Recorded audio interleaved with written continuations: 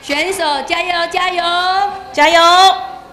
选手卖力划呀划，这精彩的传统民俗龙舟赛事今年确定看不到了。受到肺炎疫情影响，各县市政府纷纷取消今年的龙舟竞赛。而原定六月二十四号至二十五号在东港西畔办理的二零二零屏东县端午龙舟竞赛活动，承办单位东港镇公所也宣布今年停办。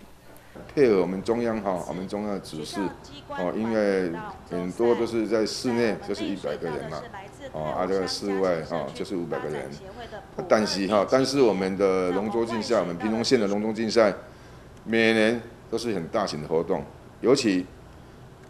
每年都是要三个礼拜天的工作天，三个礼拜工作天，就是从龙船点睛，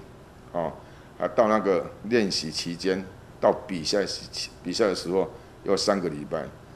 强调有着三十年历史的传统民俗龙舟庆典需要三周的工作天，而这大型活动每年皆吸引超过一千五百位选手参与，加上竞赛前的龙舟开光点睛仪式与端午即将活动，也总吸引许多民众来观礼。为了避免群聚以及赛前选手训练工作将不利防疫，因此公所商讨并经县长潘木安裁示后，考量防疫，因而宣布停办。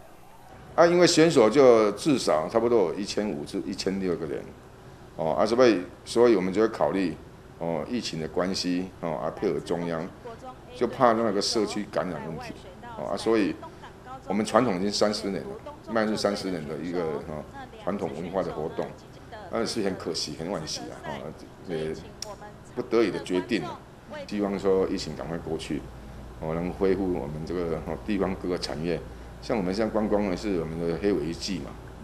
镇长强调，疫情期间不仅大型活动取消，现在黑尾鱼季地方产业也受到极大冲击，只求疫情能早日过去，让各项活动能顺利进行，也期待明年屏东端午龙舟赛的重新登场。屏东新闻不予停刘建荣采访报道。